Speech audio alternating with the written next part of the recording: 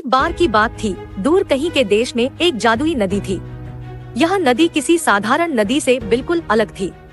यह चमकदार रंगों से चमकती थी और ऐसी मधुर धुने बजाती थी जो किसी के भी मन को मोह ले। नदी एक हरे भरे जंगल से बहती थी।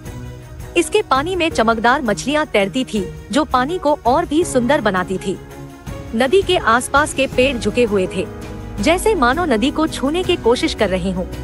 कहा जाता था कि नदी में इच्छाओं को पूरा करने की शक्ति है। जो कोई भी इसके पानी में डुबकी लगाता था, उसकी एक सच्ची इच्छा पूरी हो सकती थी। लेकिन इसमें एक शर्त थी कि इच्छाओं को केवल दूसरों की भलाई के लिए ही मांगा जा सकता है। एक छोटी लड़की माया ने इन कहानियों को बचपन से ही सुना था।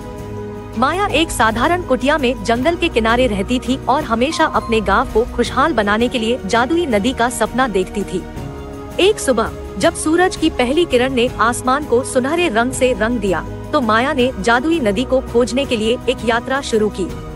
उम्मीद से भरी माया अपनी दादी से सुनी कहानियों को याद करते हुए जंगल में पहुँच गई। कुछ घंटों के पैदल सफ़र के बाद, माया ने हवा में बहती एक मधुर धुन सुनी। धुन की पहचान करते हुए, वह एक जगह पर आ गई जहाँ सबसे सुंदर नदी बह रही थी, जिसे उसने कभी नहीं देखा था। पानी चमक रहा था, जिसमें खूबसूरत आसमान दिखाई दे रहा था। पेड़ की शाखाओं पर बैठे पक्षी हवा में अपने गीतों को भर रहे थे। माया को पता था कि उसने जादुई नदी को पा लिया है। माया ने अपनी उंगलियों को पानी में डुबाया, उसे एक झुंझुनी महसूस हुई। उसने अपनी आँखें बंद कर ली और एक इच्छा की। मेरे गाँव में हमेशा खुशहाली रहे। जब उसने अपनी आँखें खोली तो माया ने कुछ आश्चर्यजनक देखा। पानी और भी शानदार ढंग से चमकने लगा था, और एक चमकदार रोशनी की लहर उसके गाँव की ओर बह रही थी। जब माया अपने गाँव लौटी तो उसने पाया कि गाँव में परिवर्तन हुआ है। खेतों में फ़सलें लहलहा रही थी, और बच्चे हँसते खेलते सड़कों पर दौड़ रहे थे। ऐसा लग रहा था कि गाँव नए सिरे से ऊर्जा और खुशी से भर गया है।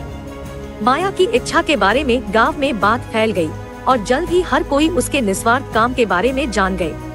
माया की इच्छा ने न केवल उसके दिल को खुशी से भर दिया, बल्कि पूरे गाँव में खुशहाली की एक लहर भी ला दी थी। उस दिन से ग्रामीणों ने जादुई नदी का अत्यधिक सम्मान किया।